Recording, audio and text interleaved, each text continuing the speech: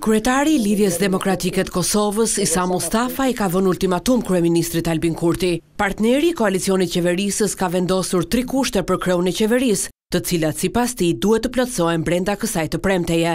Pres sot që zoti Kurti ta heqë tarifën, ta anulojë vendimin për shkarkimin e zotit Veliu, që atij dhe LDK-së t'i kërkojë falje për veprimet e tij dhe të atyre me të cilët ka bashkëpunuar në këtë akt të ulët.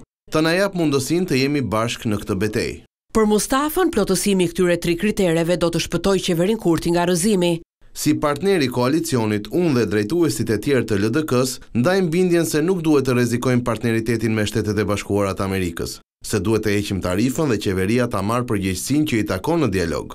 Nuk e kemi bërë koalicionin për ta prishur, por për të bërë ndryshime.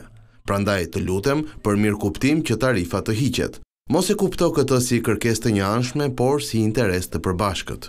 Në këto kohë të vështira të përhapjes me shpejtësi të virusit korona, tarifa njëqind për qind për importin e produkteve serbe mund të kenë ndikim në mungesën e produkteve në tregun e Kosovës.